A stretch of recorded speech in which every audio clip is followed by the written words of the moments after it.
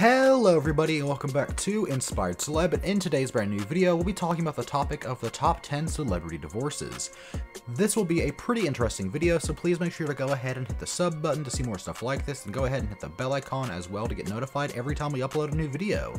Also make sure to go ahead and drop a like and comment down below and without any further ado and without any more interruptions let's go ahead and get right into today's brand new celebrity video.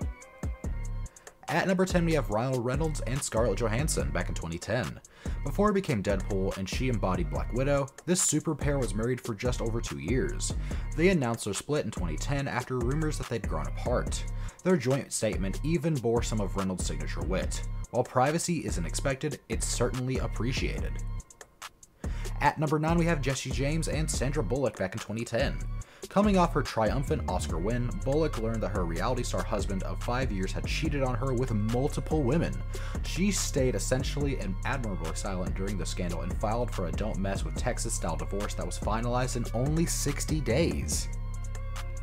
At number 8, we have Ashton Kutcher and Demi Moore back in 2011. On the weekend of their 6th anniversary, Moore premiered in a new movie in New York, and Kutcher, her 15 year old younger husband, cheated on her in San Diego. Moore announced the next month that they were going to get a divorce. The split was finalized in late 2013, with him paying her more than was legally required. At number 7, we have Marc Anthony and Jennifer Lopez back in 2011. The Latin pop power couple married back in 2004 and reportedly clashed over personal and professional issues before announcing their split in 2011. However, they've remained amicable in the public eye as their co-parent twins Max and Emmy. And for number 6 we have Kris Humphries and Kim Kardashian back in 2011. Kim Kardashian's marriage to the NBA player Humphries, her second partnership, came and went in 2011, lasting only 72 days. That is nuts. Humphries accused Kardashian of fraud and wanted an annulment as well, but ultimately agreed to a divorce. Finalized in 2013, the split took eight times as long as the union did. At number 5, we have Russell Brand and Katy Perry back in 2011. Perry and Brand hit it off in the summer of September 2009 while rehearsing for the MTV Music Video Awards. And they actually started dating and he popped the question that New Year's Eve during a trip to India. A traditional Hindu wedding, also in India as well, came in October of 2010, followed relatively swiftly by the couple's reported realization that they had different priorities in life. So yeah, they clashed a lot, and she was out on her California Dreams tour for almost all of 2011. Two years to the day after getting engaged, Brand texted Perry to say he was filing for a divorce. At number 4, we have Katie Holmes and Tom Cruise back in 2012.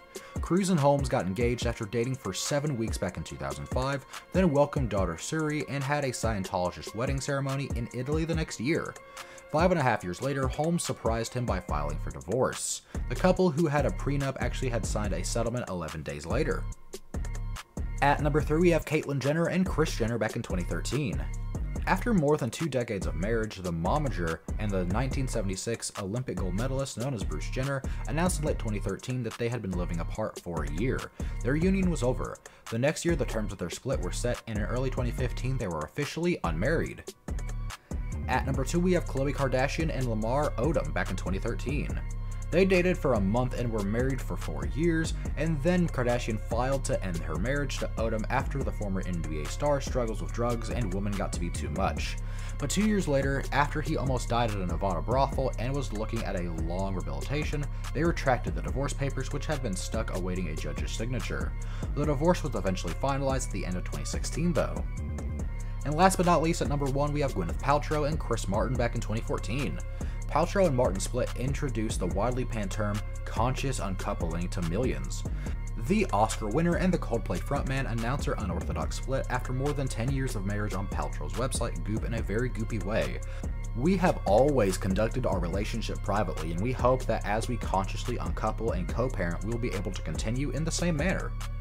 Anyways guys, thank you all so much for watching this video, we really do appreciate your viewership, and please don't forget to go ahead and hit that like button, subscribe to the channel, comment something nice down below, and we'll see you all in the next video. Take care until then, and bye-bye.